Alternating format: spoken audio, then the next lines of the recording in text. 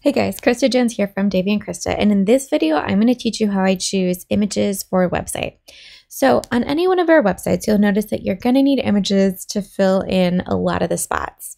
I actually did a count recently for this particular website, and outside of links to testimonials or portfolio images or links to blog posts, you need around like 45 or so images. Um, oh, and this also doesn't include headshots. So you those images are going to fill in like this hero spot right here. They'll fill in extra spots right here that go into next steps.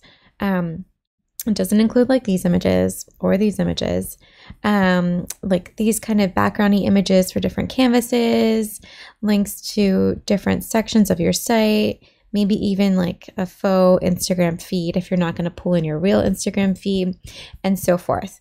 Um, and I know that it can be really overwhelming for people to choose images for their website.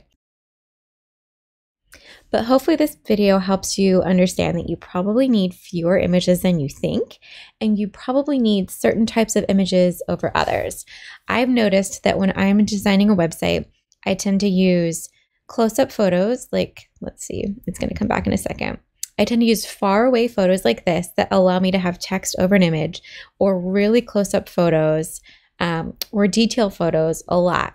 I don't use as many of this type of images where they're what kind of pulled back and it's busy just because it doesn't allow me to add design elements over it. Um, I use a lot of details like this where it's like the ring and clean text. Um, I'll do a mix of bridal getting ready and like detail shots and a lot of portraits. Um, but I don't use that many reception photos. I don't use that many like family po- portraits or bridal party photos just because those can be busier. Um, and so they might they might show up in an individual gallery where you're showing off your portfolio. But as for filling in the site, I tend to skip those. So I actually used to be a wedding photographer and I have some galleries that I shot several years ago now. But I want to walk you through how I would go through those galleries and select around 100 images to then use to fill in a site. And one thing that you'll notice in all my galleries is that I have my favorites already as the first section of the gallery. And I think that's great not only for presenting your clients with like the best images first, it also makes it really easy to go through later and select images. Um, like this is kind of a cute shot. I might use this somewhere, so I'm going to download that one. I'm going to do, let's see, this could be a pretty one somewhere, so I can download that one. As I'm looking, I'm choosing my favorite images, and I'm also going to go for images that match my brand and represent the kind of work that I want to shoot later. So you don't have to show all of your work on a website. Um, you really want to show what you want more of. So if you're a portrait photographer, choose your favorite portrait sessions. If you're a wedding photographer, choose your favorite weddings or shoots or so forth. Um, like this one's really cute. I'm going to download that one. And let's see what else.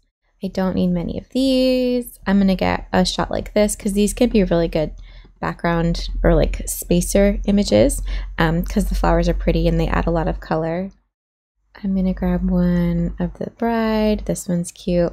I'm actually probably going heavy, heavier than I need on here. So I'll download that one. I'm gonna go for this one because this is a gorgeous image. Download. Um, I might do one that's further back where she's looking away. Download this one. And let's see, what else do I need? I don't need many of these. I just probably wouldn't use a lot of these on a website. Um, I love this image. It really shows off the dresses. So I'll download that one. And what else? This is a really cute one. This could be really cute, like next to pricing or something, because it shows just the smiles and how joyful they are. Um, let's see what else. This is cute, but I don't love her hand there. Um, I might grab this one too. I know I have a different one, but sometimes it's nice to have some options. So I'll grab that one. I'm gonna grab one more of the couple, like this one, I think. Um, and maybe one further back, but then that's probably all that I need from here. So download. I'll just double check and see if there are any that I love more. Nope. All right, so I'm gonna open up another gallery. All right, so here's another gallery. I'm gonna grab this detaily shot right here because that's really pretty.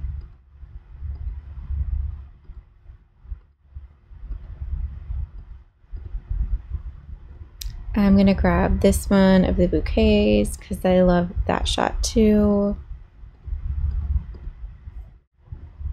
These shoes are great and they could be a nice background image um, because they were just shot on that clean blue. I also really love this imitation suite, so I'm going to download this one. And let's see what else.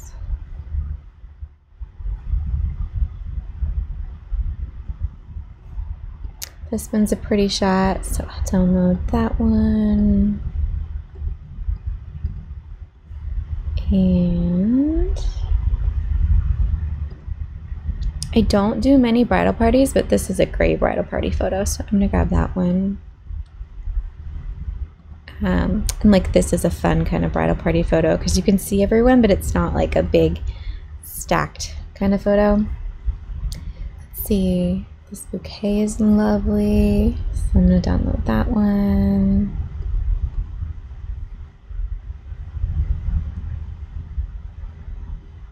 I'm going to grab a shot of the centerpieces.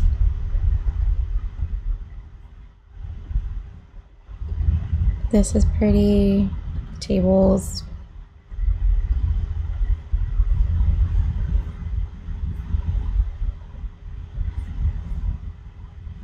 Um, this is also one of my favorite shots of the bridal party with this like vintage bus. So cute. And then this is great. This is actually in the hero spot on my old photography website. Let's see what else. And then this is where their portraits are. So I'm going to grab a few portraits from them, download. Maybe this one. And then I'm going to grab a close up because I have a couple that are further back now. So let's see if I have a good close up one.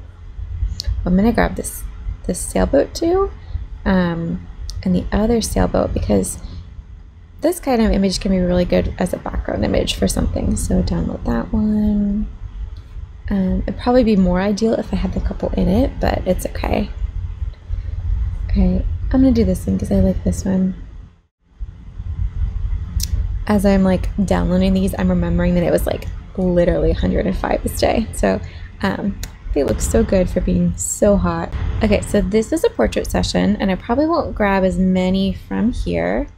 Um, I know that I like this series in particular because of the neutral background. I think it really helps them pop. Um, I like this one, like that would be pretty. One day I'll learn how to download photos from these old galleries that one. Maybe one that's further back. I don't have many horizontals on my site, so I might grab this one too. Or I don't have many downloaded yet for horizontals. I don't shoot horizontal, or I didn't shoot horizontal very often. Let's see if I have any good further back ones. Um, Maybe this one. Again, like this is kind of uh, a crop that I wouldn't use that often on a website, um, but I'm just gonna grab it.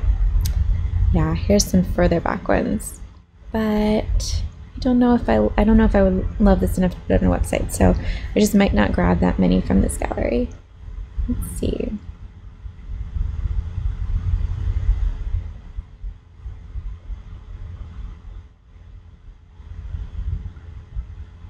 Think I like this one. I'm going to add that one. I like the colors and the lighting in that one.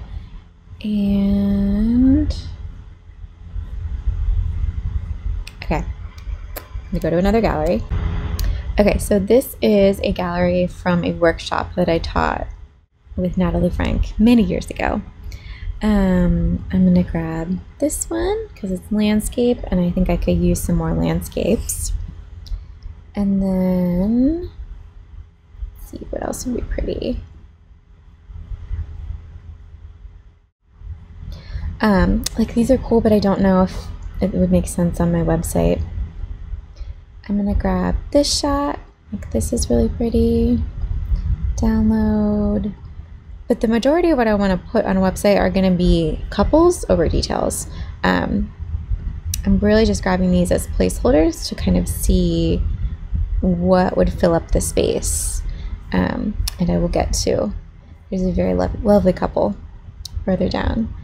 Um, here's this one. The day that we taught this workshop, it was pouring, so we only had this tiny little awning to shoot under. Um, see what else. I think that's all I'm to grab from this one. All right, so here's another portrait session. And I'm to do this one. This was a great smiling one that was super representative of our work. I'll grab that one. These are actually our good friends, Justin and Christine. Um, I love blue in this one, and I love how simple the top of the photo is. Um, like that could work out well somewhere. I'm gonna grab a close up because I could see myself pairing like those two together, the close up and the further back one. I love this one and the neutral background and the little flag. I love this one.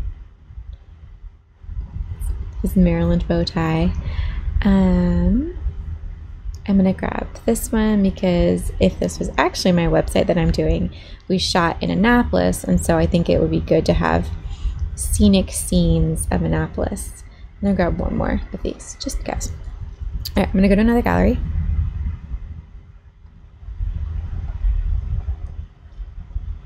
Okay, so Stephanie and Mark. Let's see. Um, this is one of my favorites. Her getting out of the car with her dad.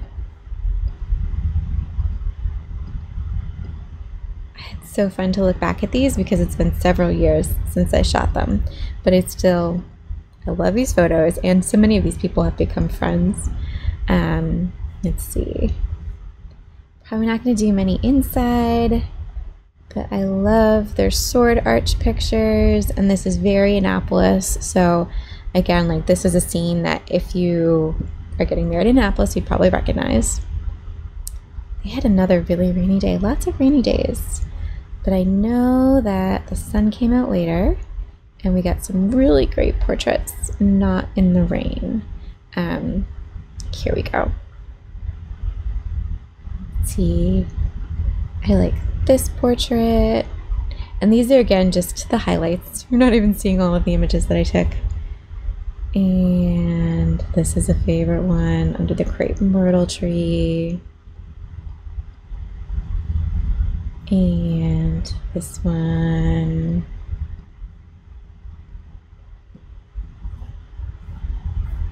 And that's it. All right, one more gallery. And then I think I should have it up.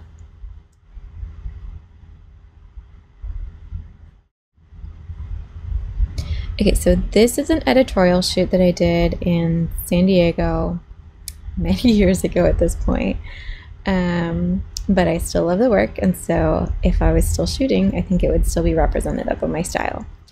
Um, I love this one, and I love the green and how happy she is. I'm gonna do, let's see,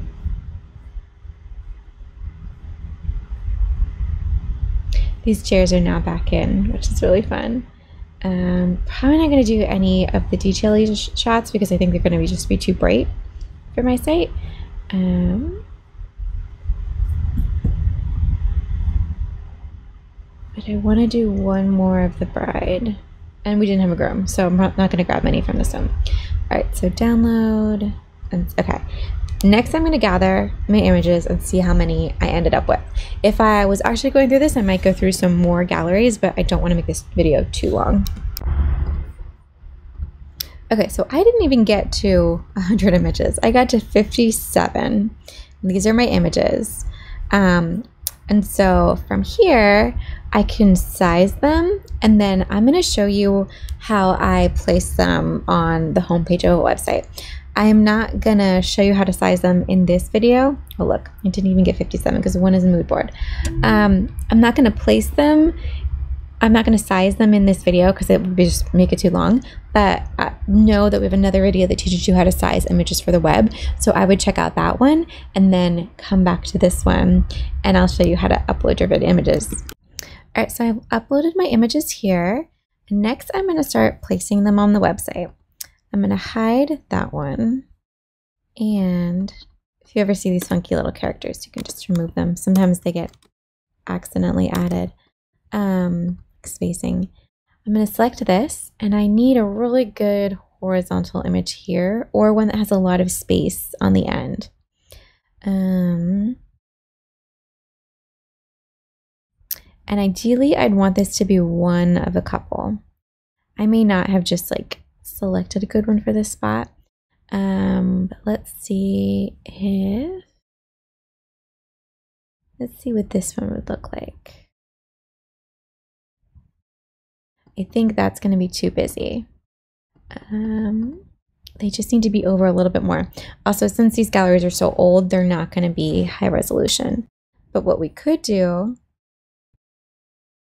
so what we could do now is I can come back and go to my bride and groom images, and let's say I know that I want to use an image from them, I can see if there's another shot that is similar that would work better that just didn't make it into my favorites. So, like this one is a little bit further back and it's still good and it might and it might be kind of what we need to replace that image.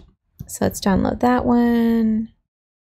Let's see if we have any other ones that might work in that spot. If you are moderately good at Photoshop too, you could also make an image work in that spot. So let me see if I have one that might work. This one might work. So I'm going to open this up in Photoshop. So I'm going to open this image up in Photoshop and I'm going to select this background and kind of get a sense of what color it is. Then I'm going to add another layer and then I'm going to grab my paintbrush tool and I want to make sure my brush is fairly big. So probably like this big. And I want to make sure my brush is a pretty good size. Next, I'm going to just start coloring over the image. And it's okay if it's like a solid color. This may not work great with every image, but this is just a general idea of how you would do this. And then I'm going to select both layers and then I'm going to flatten the image. And then from here, I can take this patch tool and kind of select it. And then I'm going to move it over here and that'll start to even out the color. So if I do this, it should even it out a bit. And then depending on whether yours comes out really clean like mine just did, you might, like if you have a lot of stuff in your background, you might also experiment with gradient. Um, so I could add a new layer right here and I could add this this gradient option and you want to make sure that it's selected to be transparent on one side and then your color on the other. And then if I hold shift while I draw this line, it's going to add this color right here. So um, you'll see that it kind of is going to fade it and you can experiment with making it darker or lighter um, and then merging it together. But doing something like this might also help give you a horizontal image where you didn't have one before. So let's merge these together and then see what it looks like. All right, so I have this image placed and I can play with the position a little, a little bit. So maybe something like that. And then if we hit preview, you'll see that it looks like this. It's not a high resolution image. So if I was doing this for real, I'd want to grab a high resolution one, but I just didn't have access to high res ones easily to record this tutorial. Um, so that's how you could kind of make these images work in different spots. You realize that you have too many images that just don't work in that in a wide spot like this. You could always adjust the design a bit.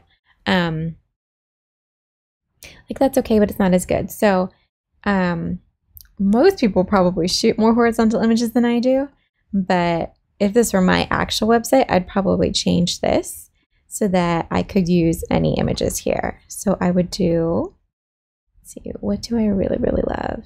It's like a happy, joyful image. Mm-hmm. Maybe I'll start with this one.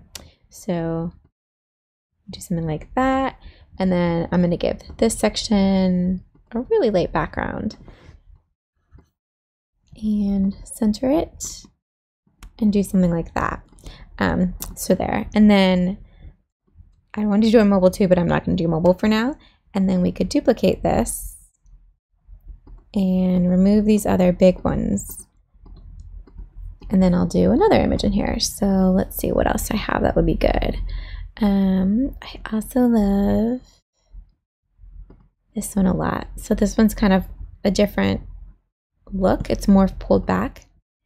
Don't know if I love it in that spot though. Let's see what else do I have that would be super fun. Um, like this one is great. This is a good hero spot image because you see the joy in them. And then we'll do one more. Maybe I'll do the smiley one of this bride right here. Okay, and then next I need another one for this spot. If I was really doing this, I'd probably shift this one over here and then move it like this so that the images flow. So it goes left, right, and they're not stacked, but um, we'll be quick on this. So let's see, I need another image for right here. I have a close up or somewhat close up. So here it would be good to do either a detail or one that's like a little bit further back. Um, so maybe we do.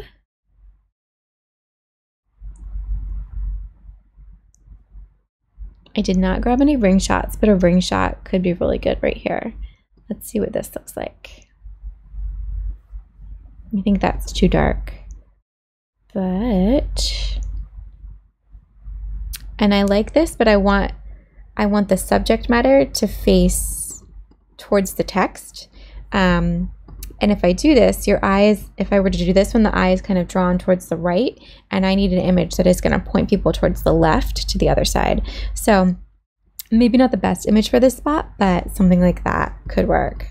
And then here I could do a similar image to this. So one of a couple, maybe that's smiling, um, I'd probably do a wedding over an engagement session.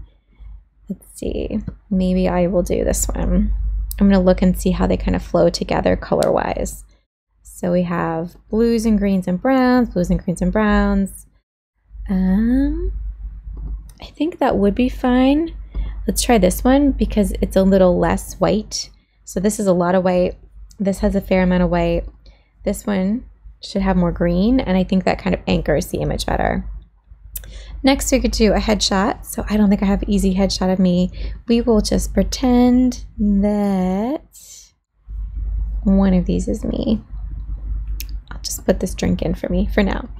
Um, and then for here, we could do a more backgroundy image. So maybe we do something like that. The colors don't really flow. So let me see if I can grab a different one. We'll pretend that this is me because I know they're going to have the same kind of tones because um, they were shot on the same day. So there we go. The second image. These would actually be links to either galleries or featured blog posts.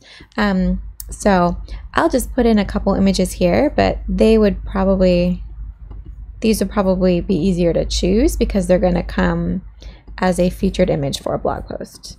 I'll just grab a few. I'll grab that one of Steph and maybe this one of Justin and Christine. And then again, testimonials, you're going to probably use images that go with your couple. Um, but I don't have a lot of images selected and I haven't pre-selected any testimonials. So I'm just going to grab a few kind of random ones here. I'll grab this one and I'll grab one more so that it feels like my work. Um, I'll do another image here. So I'm going to look for something that's more horizontal. So this could be a good situation for using this kind of image. Or I know that we have pretty bridesmaid images like this. So I could grab this one and then I could lower the opacity a bit and do something like that. So yeah, that's cute. Um, these again are going to link to galleries, kind of like the ones above. So I'm just going to grab some images that I think might work here. I'll grab that boat shot. And then let me find another one of a couple that might work there. Mm, I'll try that one.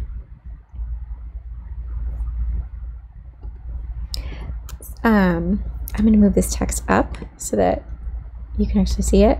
And we might experiment with making it black so it stands out. I think that would look better.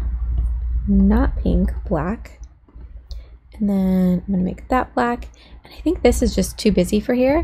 So an image like this would actually look really good on that. Um, so like if I did something like that, and I know that we used this one above. So let's see if I could choose a different one. Maybe I'll do this one and then switch it out. So I'm also looking for colors to be coordinated here. Um, let me hit preview and go do a scan and see how we're doing. Okay, so first thing is that this is locked to span the full width and I need it locked. I need this text not to be locked. Lock, lock, unlock, and unlock. Okay, and I'm not gonna I'm not gonna let it flip because you'll see that their other ones are not locked. Um, but then we have those and they're kind of flowing well. The colors there are flowing well.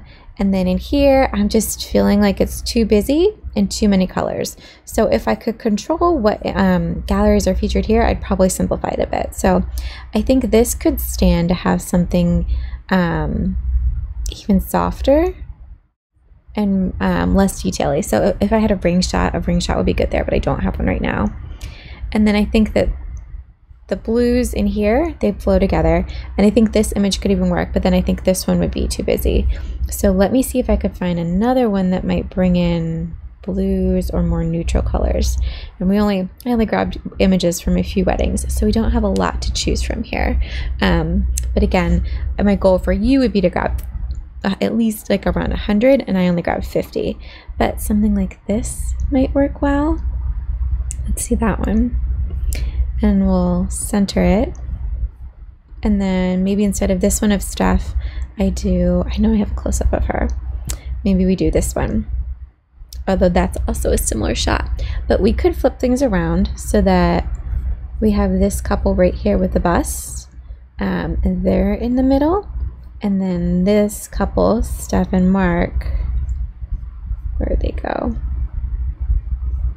They could go right here. So it kind of separates those shots a little bit and they don't feel so repetitive. Um, and then coming down here, I feel like this is going to be too much blue for this one. So I'm just going to grab this one because I feel like there's a lot of color and a lot of blue in here. And I'm going to grab this image because it's more white. Um, and I think it just neutralizes things a little bit. And then I think these look good together because there's a lot of blue in this one and a lot of neutral tones. Um, and so things could either be more contrasting like this, or they could be more similar. I'll grab a couple images for here. So let's see. This is a kind of situation where it might be good to do two that um, we know go together. So like maybe we grab this one, and then if I have a detail shot from their wedding, which I think I do, it'll bring in the same kind of tones. Um, so I just use that drink shot, even though you can't really see it. And then let's keep going. We'll do another shot here. And I think some kind of close-up shot would be good here. Let's see what I have. Like this one could be cute here. The pink actually works. I wasn't sure how the pink was going to work with that image. Um, but in that kind of spot, you want to make sure that the image you choose works with the pink. Let's see, down here, we would do headshot of me, but I don't have headshots on here. So let's see. Do I have any that are more close up? We'll just pretend that this is me. Um, and then this could either come in from your Instagram or you can just set images. So I'm going to set a few images and I'm going to vary them by color and busyness and type. So this one is really colorful and it's kind of zoomed in. So this is going to be a more neutral detail. Then next I'm going to do another couple image and this is blue and it's also still kind of feeling neutral. I can grab, I'm going to grab another one of the boat just because I don't have many to choose from right now. Actually the shoes would work. So let's do the shoes instead of the boat. Um, and now I've had a couple neutral ones in a row, so I could do something that adds a little more color, like this one. And then I probably want to go back to another neutral one. So there's another neutral one. Then I can add in this closer one that's a little bit busier, but still really fun. And then I'll grab that neutral one. And then maybe I'll do this one because it's again like further it's pulled back a little bit. And then maybe this one. And then I'll hit save. Let's see, it should load it in a second. And and so then if I hit publish and I scroll down, you can kind of see that very quickly I just started to place some of my images on here and it feels very different than the original site. Um, I think my images are a little bit softer, more pastel and I tried to pull in blues and greens because if this was really my site, it'd probably have a lot more blues and greens than pinks. Um, and that one loads there, and then you'll see my other images down here. So Hopefully this helps. If you guys have any questions, feel free to reach out to support at daveyandkrista.com.